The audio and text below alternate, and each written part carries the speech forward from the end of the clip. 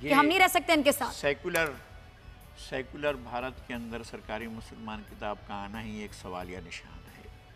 پہلی بات یہ ہے کہ یہ انٹینشن اگر ہوتی کہ بچانا ہے انسانوں کو تو تو پر بتایا جاتا۔ اگر نیت ہی نہیں تھی، اگر نیت ہی یہی تھی کہ لوگوں کو ذبح کرنا ہے، لوگوں کو قتل عام کرنا ہے، آبرو ریزی کرنی ہے، انسانوں کو جلانا ہے، بچوں کی گردنیں کاٹنی ہیں، اگر عمارتوں کو آگ لگانا ہے، گھروں کو برباد کرنا ہے، اگر یہ نیت تھی اور اس نیت پر تو انہوں نے کام کیا۔ لوگوں کو گھروں سے نکال کر گلیوں میں گھسیٹ کر جس طرح سے مارا گیا تھا یہ ہماری آنکھیں تھیں جو ہم دیکھ رہے تھے اس منظر کو جو ہمیں جو کچھ بھی وہاں سے مناظر سامنے آ رہے تھے ان مناظر کو آج بھی یاد کرتے ہیں تو رونگٹے کھڑے ہو جاتے ہیں۔ یہ مودی کا انڈیا تھا یہ مودی کا گجرات تھا جو کچھ وہاں پر ہوا ہے۔ اور ساری دنیا دیکھ رہی تھی۔ امریکہ نے اور دنیا میں ان کو ناپسندہ شخصیت قرار دیا۔ جب وزیر اعظم بننے تک مودی کا امریکہ میں داخلہ ممنوع تھا، وزیر اعظم بننے کے بعد ان کے داخلے کی اجازت ملی۔ اور پھر جب اجازت ملی تو ایسا ہے کہ بارات سے دلہا آ رہے ہیں۔ امریکہ نے پھر اس کا اس طرح سے سواگت کیا، اس طرح سے ویلکم کیا اور امریکہ سب کچھ بھول گیا۔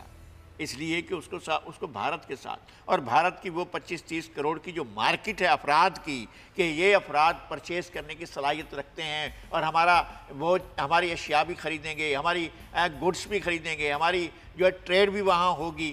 پاکستان میں مارکیٹ جو ہے وہ چھوٹی ہوگی شاید پانچ کروڑ کی ہو چھ کروڑ کی ہوگی۔ اس مارکیٹ کی بجائے ہم بڑی مارکیٹ پر جائیں گے تو بڑی مارکیٹ سے ہمیں بڑا فائدہ ہوگا۔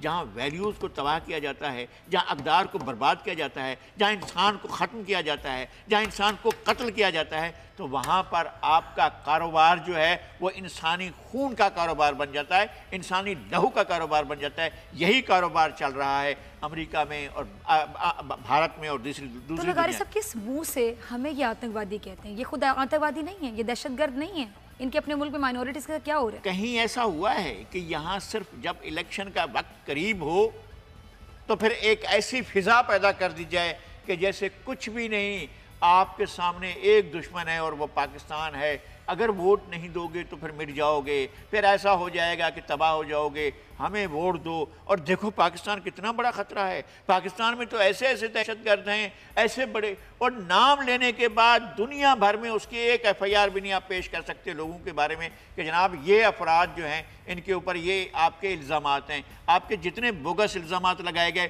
وہ سارے کے سارے آپ کے اپنے اوپر ثابت ہوئے۔ اس سے پہلے جتنے بھی آپ نے الزامات لگائے اب آپ کو کہہ رہی ہے آپ کی اسٹیبلشمنٹ کے افضل گرو کو غلط آپ نے پھانسی دے دی۔ اب آپ کی اسٹیبلشمنٹ کہہ رہی ہے کہ جناب سمجھوتا ایکسپریس پر جو حملہ کیا گیا اور وہاں پر جو انسانوں کو قتل قتل کیا گیا۔ وہ سارے کا سارا جو پہلے سے پری پلان تھا، آپ کی آپ کی ہی اسٹیبلشمنٹ کی کیا دھرا تھا۔ بعد میں جتنے جرائم، اور یہ بھی چیزیں کھل کر سامنے آئیں گی کہ کن، کس طرح سے کون کر رہا تھا، اور بمبئی اٹیکس کا منصوبہ کہاں بنا تھا، یا کس طرح سے اس کو آپریٹ کیا گیا، یہ چیزیں بھی کبھی زیادہ عرصے تک نہیں رہیں گی۔ آپ نے گھسیٹا اور پاکستان کی کشتی اٹھا کر، میں ہمیں حیران ہوتا ہوں یہ کیسے لوگ کر لیتے ہیں کہ کشتی کو جو ہے وہ آپ کراچی سے نکالیں گے ظاہر کراچی سے ہی نکالیں گے اور بمبئی پہنچائیں گے بھی کشتیاں کیسے پہنچ سکتی ہیں؟ کشتی ہم خود جا کر دیکھتے ہیں کشتی تو اگر دس ناٹیکل میل پر بھی چلی جائے تو الٹ جائے گی رہے گی نہیں۔ آپ یہ کشتیاں پہنچا دیتے ہیں اس کے اندر چھ آدمی بھی سوار کر دیتے ہیں آٹھ آدمی بھی سوار کرا دیتے ہیں وہ پہنچا بھی دیتے ہیں۔ یہ سارے کا سارا ڈھگوسلہ ڈھونگ جو ہوتا رہا ہے یہ یہ جو گجرات کے اوپر پردہ پوشی کی جاتی رہی ہے اور گجرات کو ٹیسٹ کیس بنایا گیا تھا مودی کے لیے کہ مودی وزیر اعظم بنے اینٹی مسلم تھاٹس پر اور سینٹیمنٹس پر جو ہے وہ انڈیا کا سربراہ بنے۔ یہ انڈین اسٹیبلشمنٹ کی سازش تھی۔ سر، مجھے ان کی جنتا کی سمجھ نہیں آتی کیونکہ جنتا جو ووٹ دینے کے لیے جاتی ہے یعنی جتنے بھی مسلمانوں کی گردنوں پہ چھریاں چلانے والے لوگ ہوں گے، ان کو ووٹ لے گا؟ یعنی وہ اتنی شدت یعنی اتنی شدت سے نفرت کرتے ہیں مسلمانوں سے؟ میں یہ نہیں سمجھتا ہوں نفرت نہیں کی اسٹیبلشمنٹ ایک چیز ہوتی ہے احساس سے آپ کے اندر یہ احساس پیدا ہو جائے کہ آپ محفوظ نہیں ہیں۔